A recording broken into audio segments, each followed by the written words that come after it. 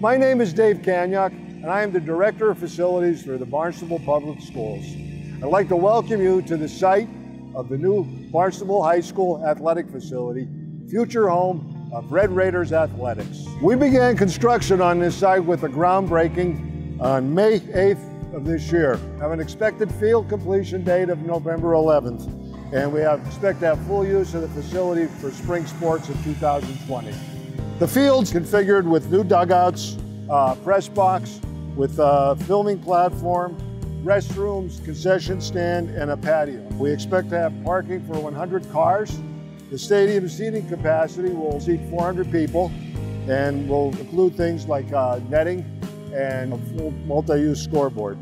The left field will be 338 feet, center field will be 388 feet, and right field will be 321 feet. When completed, the fans can expect a real stadium experience. You'll enter the fields above and you will actually look down onto the field just as you would, you would uh, experience at any major league ballpark. And you'll have full view of, of the fields from all around. There'll be seating on the first base side and the third base side as well behind home plate.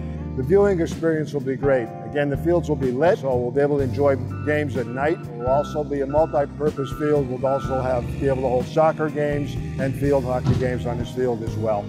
Phase two will include the remainder of the fields surrounding this ball field. That includes all the grass, the, the varsity softball field, and uh, JV baseball field, and support fields behind. This will all be interconnected by paths and we will have a, an athletic facility on this side which will be very accessible from anywhere on the campus and easy to get from one field to another. Phase three will be on the other side of the street behind the tennis courts and we'll do a similar improvement over there through the fields behind the intermediate school.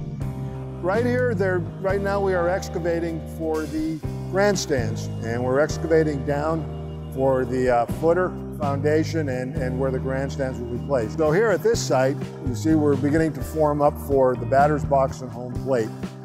As I mentioned earlier, the fields will be uh, synthetic turf, but the batter's box and home plate will have traditional clay infill so that the batters and catchers will, will be, have firm footing and, and the type of uh, base that they like to be on when, when digging in for batting. Here on, on the third baseline, we will we plan on uh, installing uh, two bullpens uh, and, and a batter's cage uh, for, for practice.